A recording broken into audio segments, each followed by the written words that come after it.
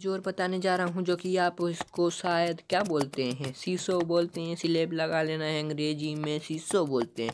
सारे बच्चे इससे खेलते हैं और ये माइनक्राफ्ट में वर्किंग होने वाला है। पूरी वीडियो देख के जाना।